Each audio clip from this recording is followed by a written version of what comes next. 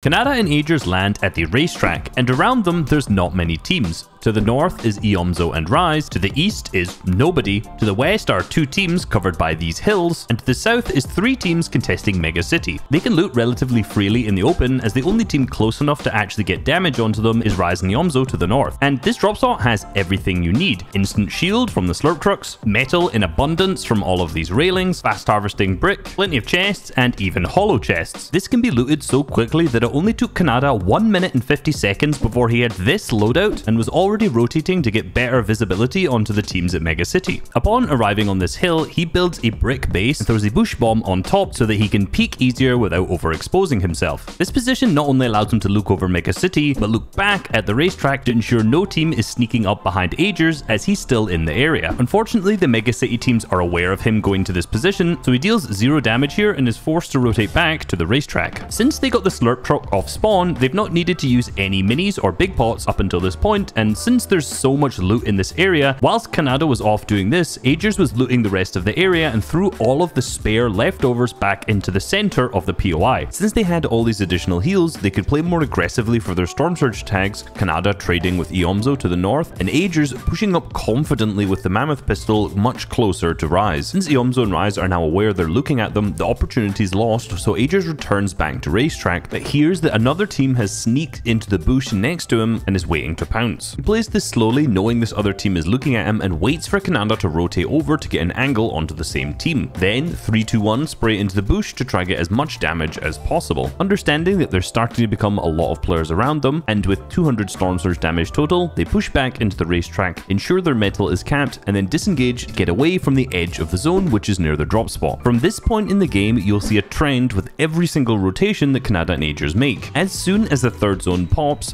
Ajerss throws a slap splash to give them infinite run energy and they white line towards that next safe circle. This particular zone pulls north so they drop down into the jungle biome and ensure when they're rotating that they stay close to the edges of the walls to cut off line of sight from as many players around them as possible. On this rotation they also go past a hollow chest that they open to give themselves more slap splashes. You can see here how they know there's a team above them on the top of this hill so whilst sprinting they're staying as close to this wall as possible and then once they're in an open area where this team may possibly be able to see them, you get closer to the wall that's underneath them and cut off that line of sight again. The jungle biome is fantastic for this type of rotation in particular, and that's why so many players go through there, but you'll see in this game, Khanada and Ajerss do a really good job of doing this through almost every single rotate. They ended up settling on this hill position as there's more hollow chests here where they could potentially get more slap splashes from, but don't end up actually opening anything here. This position is relatively close to the edge of the zone, but not close enough that I would consider it a low priority position, as there's not many teams to the north of them that will stop their rotates. The third storm circle usually has so many players just playing in the storm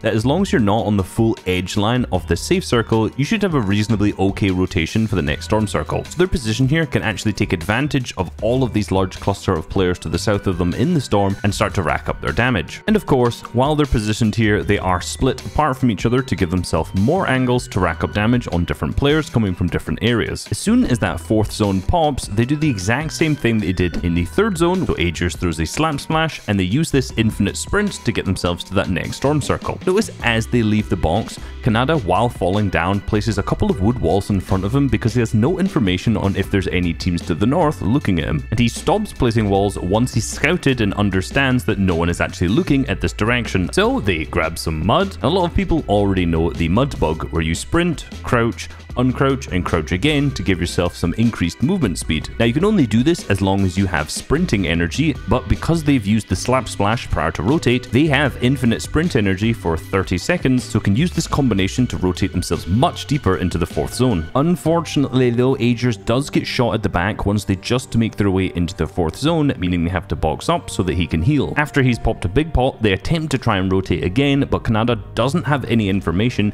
and this time it doesn't place any walls in front of him whilst leaving his box and gets tanked up for 88 damage and it seems like they're getting forced into this position. With so many teams to the south of them which will rotate up, they have to find a way to get out of here. Because they've rotated so early, they have time to scout and look for an opportunity. And Khanada notices the team holding them on top of the hill gets into an engagement with another team, giving them an opportunity to run. Again, they get close to the wall to cut off the line of sight if any of these teams start to look down, but one of the players makes a massive error in ziplining up.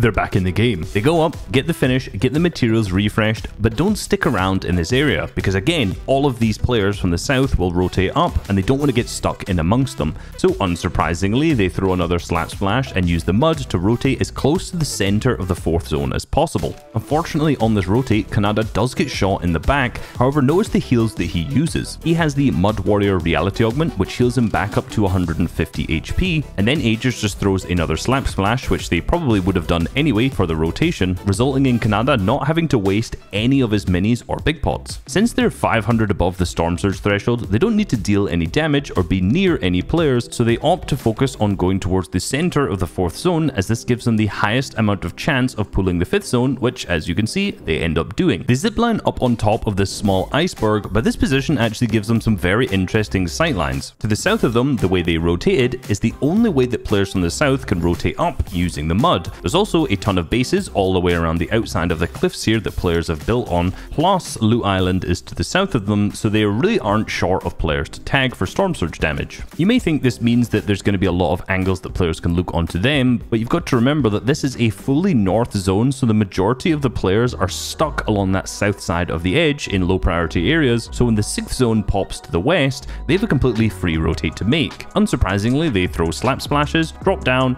grab the mud, stay close to the walls to cut off any line of sight from the teams that are around them, and easily make their way into the next circle. They essentially take a calculated risk of where they want to go. The goal is to get deeper into this circle as they keep away from more players rotating from the east. However, on this rotate, they do get tagged up and start to get focused a little bit, so they choose to box a little bit away from the edge of the circle, which on the next rotate we'll find out is a very important position. The sixth zone in this game has so many players alive that it's incredibly laggy, so if they edit a wall, they could get lobby focused. So all they do here is sit and gain as much information peeking through their cone so they can prepare for the next rotate. During this time, they have a plan for wherever the next zone is going to pop. So as soon as that seventh zone appears, they use yet another slap splash and instantly start sprinting because they already have a path mapped in their mind. Remember I said earlier that rotating a little bit deeper into the zone was really important in this game, and as you notice, all of those other players are congested on the edge of the circle. So since they've rotated this a little bit deeper, when they start this rotate, there's almost no one in front of them, meaning they can run past this hill, cutting off line of sight to all of the players who are on the opposite side of it,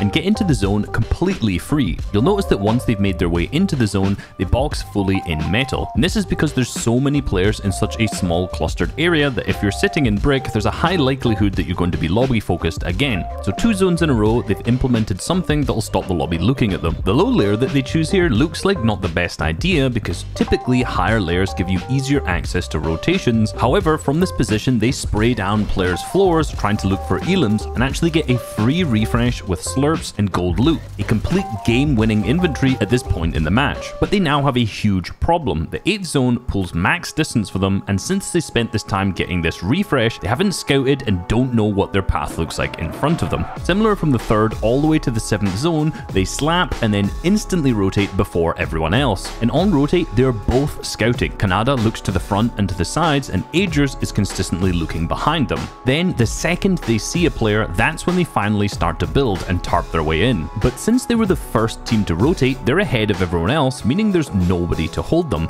So once they finally distance themselves from this team behind them, they sprint all the way around this hill, yet again cutting off more line of sight from the majority of the lobby. Had they waited a little bit longer to rotate, some of these teams would have ended up in front of them and been able to hold them, but since they were first to go, they turned what was a really difficult max distance 8 zone rotate into something that was relatively free. The last two zones when they boxed up, they kept a relatively low layer, however into this zone, this is where they finally start to elevate themselves as the moving zones will be next. Luckily they pull the first moving zone and they understand that a lot of the players will have to rotate towards them, which gives them the benefit of starting to hold these players and look for eliminations. This is actually really important because they were only 148 above the Storm Surge threshold, and despite not getting any elims, holding these players got them to 265 above, so Storm Surge was no longer a worry. Now many teams struggle with no mobility since they can't just use kinetic blades or shockwave hammers to rotate the moving zones, but Khanada and Ajerss use a risky but effective rotate here. Knowing there's teams in front and above him, when leaving the box, Khanada places a wood wall and cone in front and above him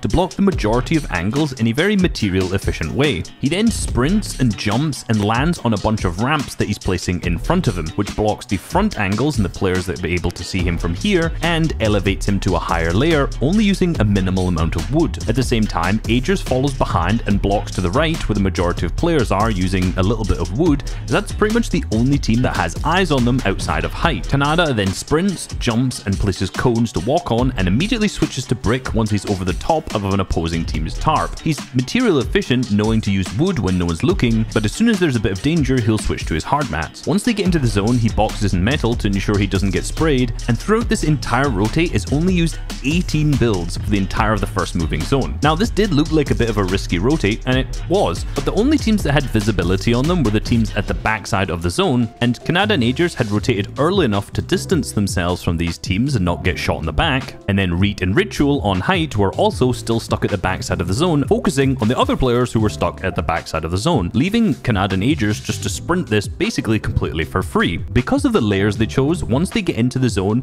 they are diagonally above another player and notice that that team does not have awareness that they have the cone there. Picking up these two elims would give them game-winning loot. However, unfortunately, these players do notice that they're going for the floor, and Khanada and Ajerss have to back off and find another way to get their materials refreshed. The 9th zone pulled on them and they got great RNG, however the 10th zone pulls completely max distance away from the entire lobby. However, similar to our earlier rotates, Khanada has already planned and prepared for this, and as soon as that zone pops, he starts rotating. Since yet again they've decided to rotate instantly, they were one of the first teams to start going, and because of this, they can be a little bit riskier with what they decide to build. Since he's rotating so early and no one's looking yet, he opts to use a stair tarp, being very material efficient. Of course, there's only so long you can get away with this for before other players start to look at him, so he ends up getting tagged from one side and Ajerss ends up getting tagged from the other. This forced them both to box up and heal, but thankfully they were far enough ahead in the moving zones that they could look back and go for elims. Ajerss actually picking up two, grabbing slurp juices and tons of materials. Whilst he's focused on looking back, Khanada is still focusing on where they need to position themselves ahead and sees that the zone pulls through Citadel and that they will need to elevate. Whilst doing so, he sees that the height team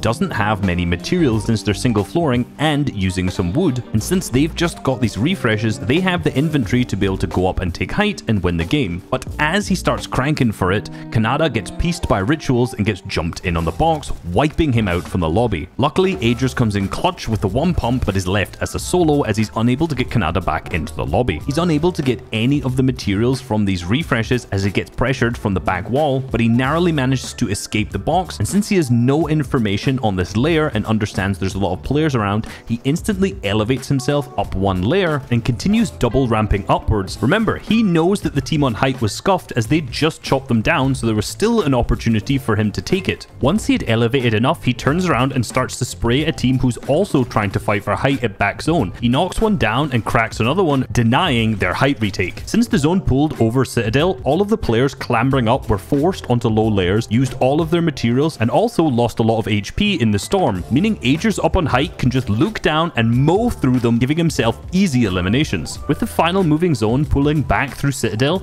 all he has to do is stay up on height and spray at the final remaining player down below, draining his mats and suffocating him deep into the storm, allowing him to solo clutch the game win. Despite the fact that Khanada went down relatively early in the moving zones, the call he made to go for high in a Citadel moving zones put Ajerss in the position to solo clutch this win, leading to Khanada and Ajerss winning their first FNCS championship.